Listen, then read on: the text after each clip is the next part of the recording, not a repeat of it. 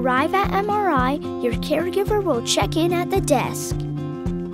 Here they will get a questionnaire that they need to fill out about you and about themselves. Once everyone is ready, they will show you back to the changing room. You and your caregiver will have to change into hospital pajamas.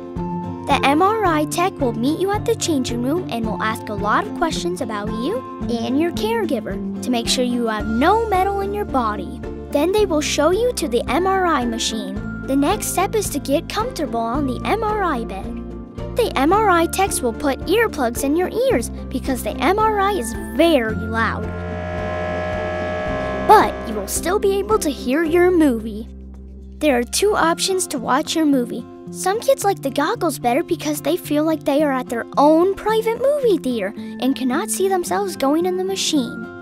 Some kids like the mirror better because they are able to see around themselves. The last step is to put your headphones on so you can hear the movie. And remember, even though you won't be able to see them, your caregiver will be by your side.